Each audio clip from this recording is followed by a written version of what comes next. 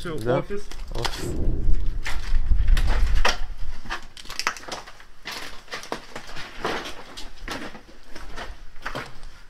Вот это наш кабинет.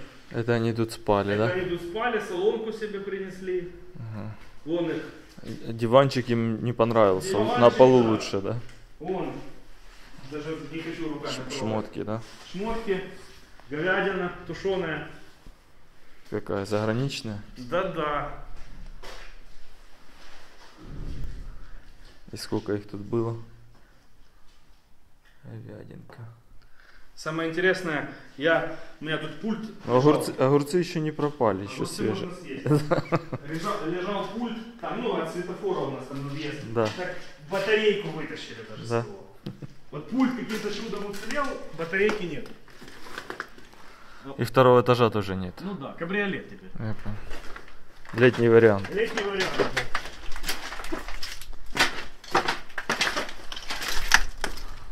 Гарна картинка. Тут тільки обережно. Угу. Треба туди зайти, але обережно, бо тут.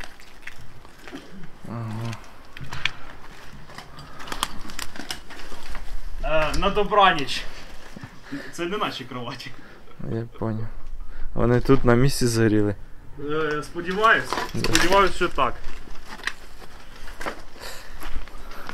Мені сподобалося ці розкладушки і телевізори. Да, Вони, вони, мабуть, тут лежали і дивились телевізори оці. да, хаймар чекали. Ну я бачу там по посадці, що дочекалися. Да? О, там ще побачив. Да? А тут э, они, они прятались от Хаймарса, то есть на весовую вон положили плиты, там внизу тоже кровати. Ага.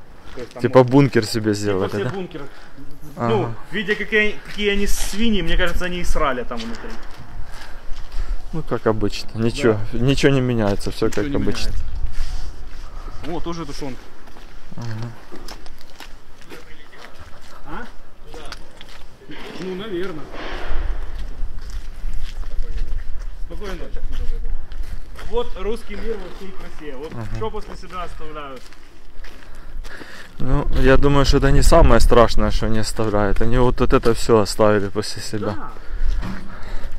Вот это все и самое страшное, ну, то есть уничтожено там, не знаю, 95% предприятия, потому что украдено, украдено очень много техники, то есть э, то, что не украли, потом было уничтожено. Что не успели вывести, так примерно, я не знаю, очень грубо, мы считаем, то порядка 5, наверное, миллионов. Вот это украинский хлеб, да? То, что, то, что, то, что, то, что они сделали. Тут этот, этот навес был полностью, все было в пшенице, тут порядка 2,5-3 тысячи тонн было пшеницы. Они ее вывезли, э, потому что, то есть даже вот когда война началась, мне звонили военные, спрашивали, как тут об- обстановка. Я же им говорю, что под, то есть вы смотрите сверху, их будет видно, потому что под навесом или в складах их будет, ну их не будет видно, потому что склады были, тут была пшеница, там подсолнух, там лен, то есть склады были заполнены, то есть сюда техникой даже заехать нельзя было. Ну, я вижу, что они частично вывезли, да? Ну, вывезли полностью все. Вот эта пшеница, вот сколько тут, ну, 30-40 тонн. Э, а было несколько тысяч. Вот, вывезли полностью все. Единственное, единственное, что чуть-чуть уцелело, осталось немного горчицы желтой. Она им не интересна. Вот. Да, я разговаривал с экспортерами, у них какие-то проблемы, они не могут ее там куда-то деть. И поэтому единственное, чуть-чуть осталось горчицы. Все остальное почистую. Лен, подсолнух, проса.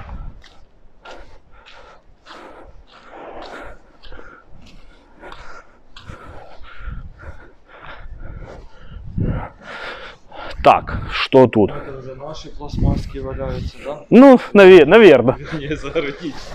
Заграничные, да. Вот. Я единственное, когда мне первый раз фотографии базы прислали, когда уже наши тут были, так сказать, слезы радости, что не зря все это произошло. Вон Тигр их, вот их КАМАЗ, вон еще один КАМАЗ, там две БМП, БТР. Ну, то есть тут они подгорели нормально. Я видел их в посадке, там много чего сгоревшего. В посадке, да, в этой посадке я просто там не ходил, там точно бензовоз, там по дороге было видно отрыв башки, кабина от кузова метров на 100 отлетела. Ну, там и БМПшки. БМПшки, да, там, там очень много всего. Единственное, что более-менее уцелело, Петтингер. Э, Кстати, добавим чуть-чуть э, наутила в этот, в ролик. В ролик. Мы за год до войны, ну, приняли решение как бы потихоньку переходить на ноль. Вот. Диски были тут обычные, ну, круглые. Вот. Мы, получается, хотели поставить петингеровские, но они было, было достаточно дорого, поэтому мы взяли амазоновские, укоротили чуть-чуть стойки, потому что у них междурядье больше.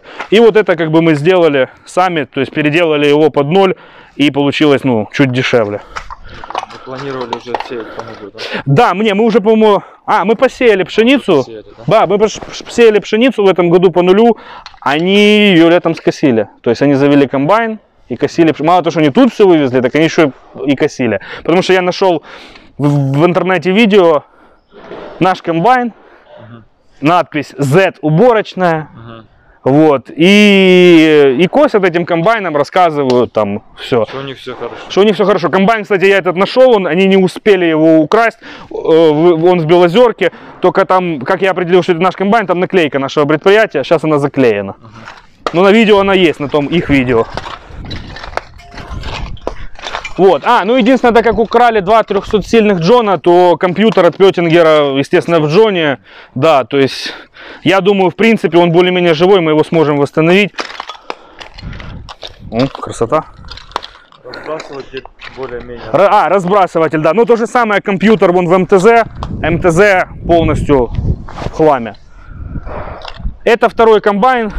Только, только мы его не, не так давно привезли, год или два. Он в Германии 540 лексион. Вот, ну, состояние на фото. Без пробега по Украине, не бит не крашен. Ж- жена моряка косила. Да? Да. Я это, позвонил продавцу, говорю, по трейдину назад заберешь, он не захотел. А кам- КамАЗы, смотрю, все с опрокинутыми головами. А, Вытягивали моторы, да? О, сейчас пойдем покажу. Короче, вытягивали моторы с коробками. Вот, со всех КАМАЗов, у нас три КАМАЗа угнали, оставшиеся 7 или 6 э, вытянули моторы с коробками и загрузили на свой КАМАЗ. Ну, там не все, там два или три вот мотора с коробками на своем КАМАЗе. Но не успел он уехать, вот он стоит.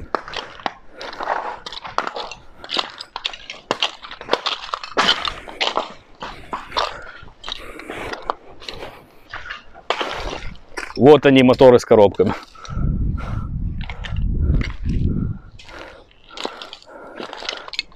Аж, аж берцы послетали. Наверное, у них в России мало моторов. коробок. Да, на, особенно на КАМАЗы. Позиция, поэтому им было очень интересно. это.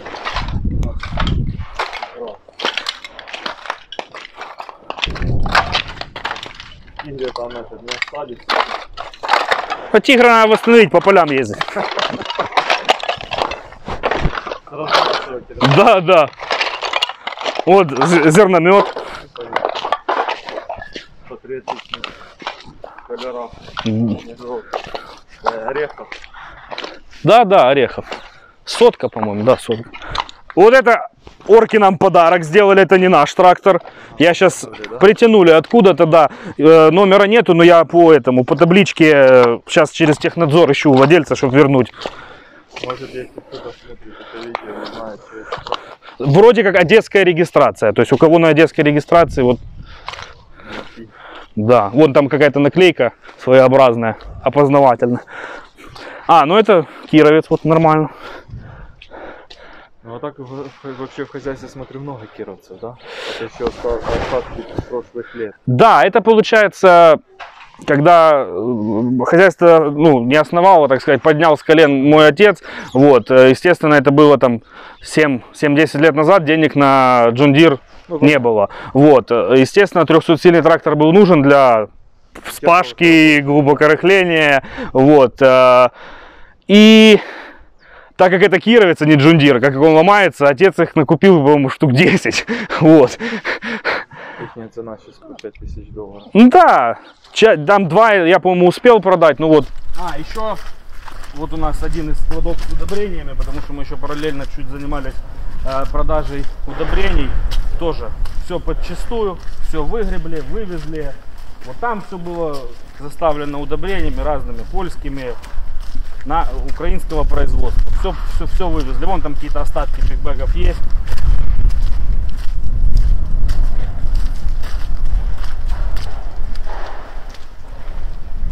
А мы с тобой работали по химии. Ты склад здесь тоже свой держал, да? Ну, не, я по химии так чисто ну, пом- помогал, там я основное Да. у меня удобрение. было. Были. Химия, я- химия тяжело, это ну много позиций. Вот МТЗ 16 года.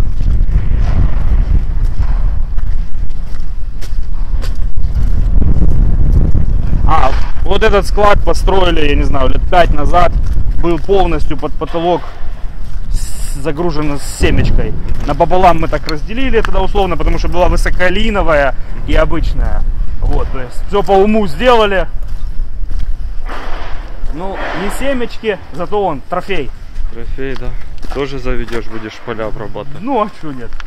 Тут, на самом деле, два трофея. Просто от второго, вон, Вот, ага, одни только эти куски остались. он отрыв башки, а второй, вон, больше мне.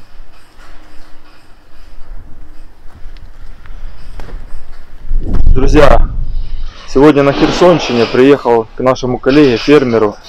Э, у него тут, видим, ситуация э, не непростая, нехорошая. Ну и тем, тем не менее, э, нужно идти вперед, нужно что-то делать. И поэтому хотим подел- хочет поделиться опытом. Возможно, кому-то что-то пригодится.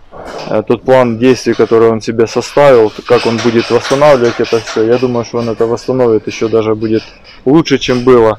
Поэтому, Андрей, ты директор какой компании, представься.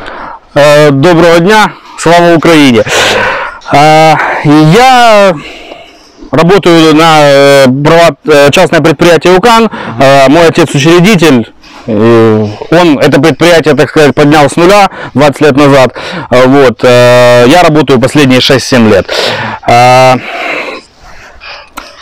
Скажи, во- вот с чего все началось? Когда они пришли сюда э, и, и как заходили?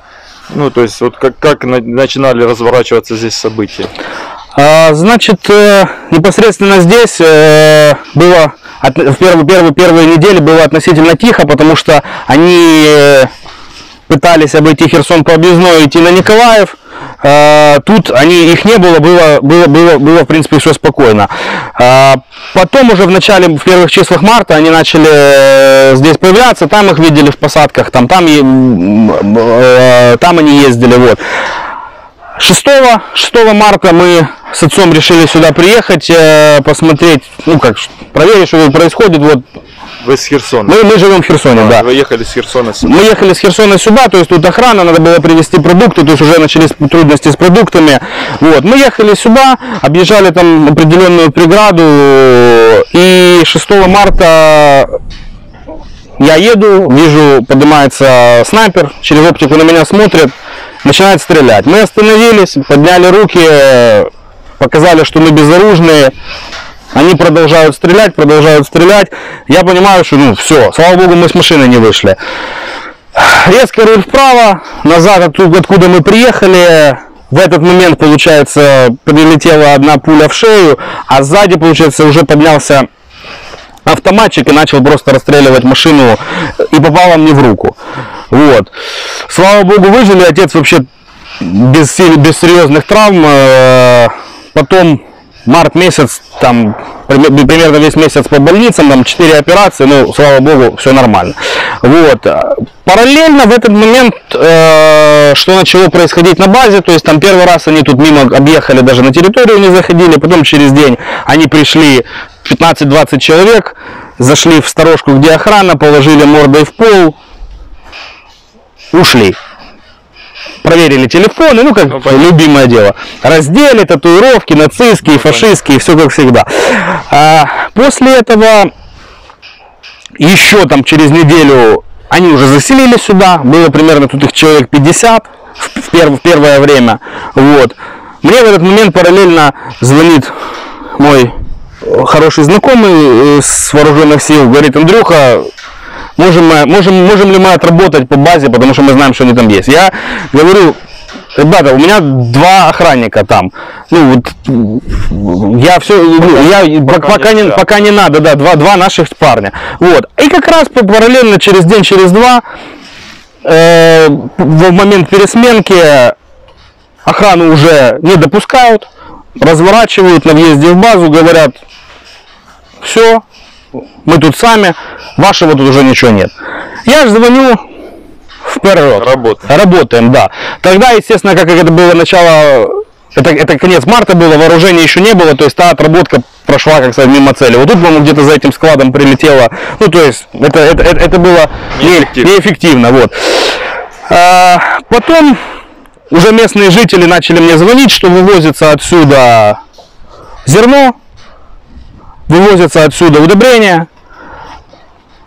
А, Потому что поначалу, когда была охрана, это уже было кража, мародерство, ну такое там по мелочи, набор ключей, Ну, понятно. матрас какой-то. Когда охраны тут не было, они уже начали работать по полной. То есть все удобрения, а соляру выкачали сразу же, там 50 кубов соляры, э, тысячи тонн зерна, удобрения, химия, все это ушло. Потом в июне месяце я нахожу видео в интернете, наш комбайн, подпись Z уборочная. Они тут ездят, косят наши поля, косят поля наших соседей, потому что мне потом даже мой знакомый звонил, говорит, Андрюха, а что за комбайн мое поле косят? Я говорю, Дима, это, это я говорю, я уже к тому комбайну отношения никакого не имею. Поэтому говорю, делай, делай с ним что хочешь. Вот. А, и потом уже где-то летом, июль-август, когда мы получили Хаймарсы, остатки того, что они не украли, Накрыть. накрыли, так как их, они тут базировались. Ну, понятно. вот, все, все, что не украдено, уничтожено после, и было примерно 3, 3, 3 дня, 3 отработки по, по, по нашей базе. Я понял. Скажи, у тебя, ну, ты пытался приезжать сюда еще после того первого раза, либо уже ты уже оставил эти попытки, понял, что нет смысла сюда ехать, что-то решать? Я уже, ну, я, я просто прекрасно понимал, ехать решать в каком плане. То есть платить им бабки, чтобы они, чтобы они не воровали. В смысле, наши пацаны там погибают, а я буду им бабки платить за то, чтобы они не воровали. Нет, отец категорически сказал никаких дел, никаких переговоров, ничего. Ну, а были фермеры в вашем регионе, которые как бы пошли на... Есть, конечно, все, все, все, все все знают, э, я думаю, по ним уже ведется работа. Я понял. Я понял. Ну тогда вопрос э, к тебе какой? Вот, э, ты сегодня оказался в такой ситуации и видишь как-то пути выхода из нее, да? То есть вот какие ты видишь пути выхода? Какие есть, может быть, государственная поддержка? Может быть там, э, не знаю, там международная поддержка? Там, ну то есть э, есть какие-то вообще инструменты, вот, э, чтобы хотя бы начать движение свое вперед? Э, Да, я могу, так сказать, поделиться опытом. Он у меня не- такой большой, потому что мы просидели все время в оккупации, естественно, не могли ничего делать, а, потому что боялись. Ну, начнем что-то делать, придут домой, скажут, а, что ты тут жалуешься. Вот, естественно, мы как, как только мы были освобождены, мы только начали этим всем заниматься. То есть сейчас, в принципе, не только у меня, а у всех фермеров, которые пострадали, сейчас самый важный и единственный пока этап – это фиксация вот, фиксация вот этих всех убытков.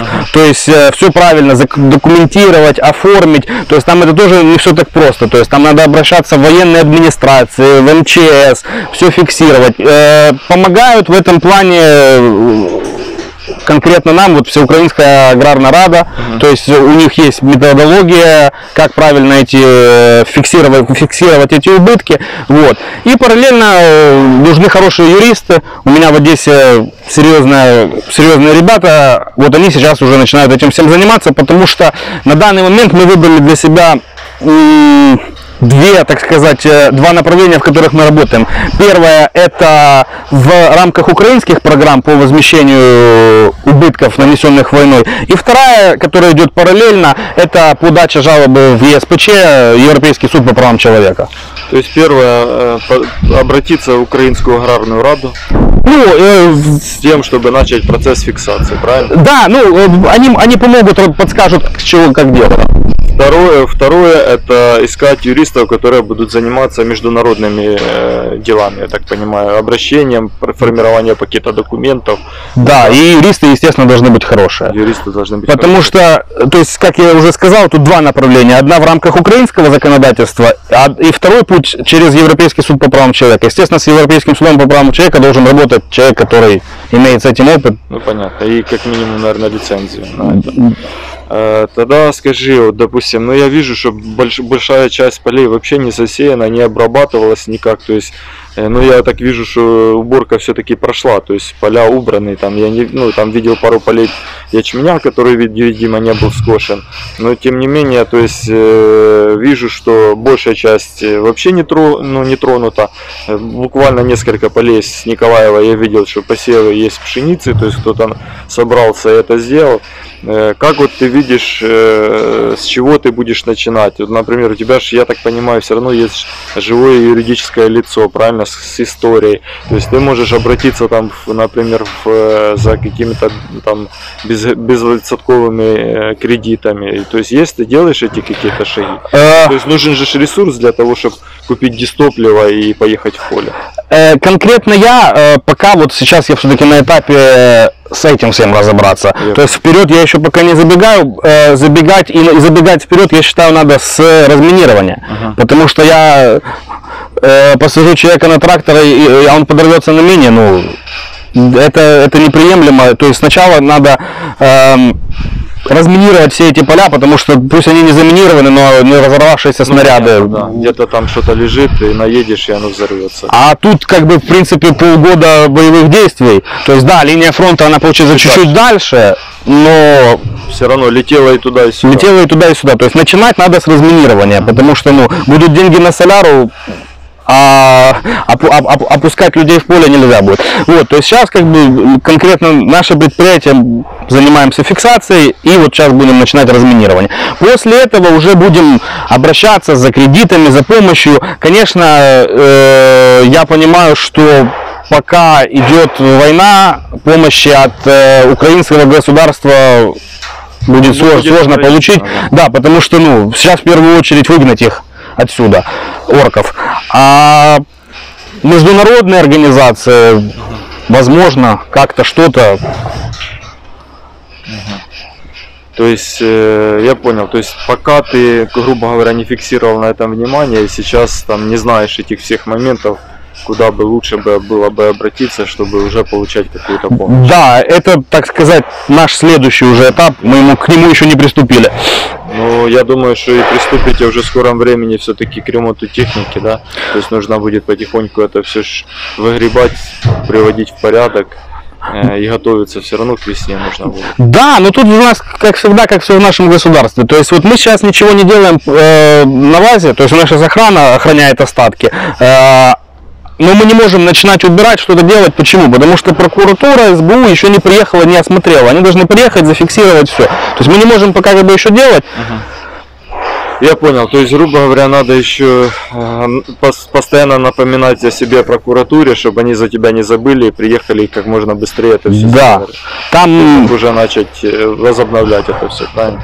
у них постоянно меняется в- их, э, то есть сегодня этим прокуратура занимается, завтра не перевели на СБУ, послезавтра на областную прокуратуру, ну, все как всегда. То есть тут вроде как наладили контакт с прокурором, э, который должен был ехать, он говорит, о, у нас уже дело это забрала областная прокуратура. То есть, ну, Я понял. Ну, э, примерно для меня, по крайней мере, понятен механизм, как, как и с чего начинать, хотя бы начать, да, то есть зафиксировать, обратиться, то есть э, для того, чтобы, я думаю, надеюсь, все-таки будут какие-то репарации, да, там, и Украина может э, как-то все-таки восполнить это все через э, получение репараций и перераспределение их на таких фермеров, как ты, ну и не только на фермеров, потому что ну, на самом Пострадали, деле да. пострадали все, да. Э, ну, несмотря на эту тяжелую ситуацию, я знаю, что ты помогаешь э, нашим э, пацанам, ЗСУшникам, купил машину, Э, скажи, там ты э, какая ситуация? Да, ситуация получается какая. Э, В Румынии я приобрел пикап для вооруженных сил Украины, пе- передал его 59-й бригаде, которая все время была на этом направлении, ни разу их ни отсюда не забирали, то есть все время они э, защищали, защищали Николаев а- а, и освобождали Херсон. Вот. Сейчас, то есть одну машину я купил за свои деньги, сейчас, так как э, я прошел уже весь этот путь от покупки машины в Румынии по пригону ее сюда, по оформлению всех документов, э, э, чтобы поставить ее правильно на воинский учет. э, есть в этом опыт, есть желание как бы помогать, но финансовая возможность Ограничить. ограничено, вы видите сами. Поэтому э, сейчас я собираю деньги на вторую, третью, в зависимости от того, сколько соберем денег, столько я еще машин пригоню. Поэтому, Я если есть, У кого-то возможность помочь. есть да? возможность, если желание помочь, то Номер карты ты ну, мне там банка, банка, моно- моно- монобанк, Монобанк, да, это, это удобно. Э, Тогда я оставлю в комментариях, э, и либо в комментариях, либо в описании к видео контакты Андрея, номер карточки э, и у кого будет возможность и желание, то скидывайте, будем помогать нашим ребятам дальше выгонять этих э, врагов с нашей земли. Да, потому что, ну, война еще не закончилась. Херсон освободили, но еще освобождать и освобождать. И понятно, что э, очень тяжело уже 9 месяцев постоянно поддерживать, помогать. И я просто понимаю, что у людей физически заканчиваются деньги. Но, к сожалению, это надо делать, потому что их надо выгнать за Крымский мост. Да, ну желаю тебе, чтобы у тебя все получилось. э, И хочу приехать тебе э, к концу этого 23 года, и ты уже повезешь показывать по полям, и будешь показывать, как ты восстановил уже это хозяйство. Спасибо, я думаю, так и будет. А, сейчас Саня осталось. Саня осталось. Вот внимание, Саня осталось. Короче, это они настолько быстро отсюда удирали, что упаковали чемоданчик с фильтрами. Вон, класс, Джон Дир, Caterpillar. Все сложили, но не успели, не успели его забрать. Так что, еще раз говорю, а, скидываемся на пикапы. Мы-то тут сами справимся, фильтратом тем более у нас остались, а вот хлопцам нужна помощь. Обязательно.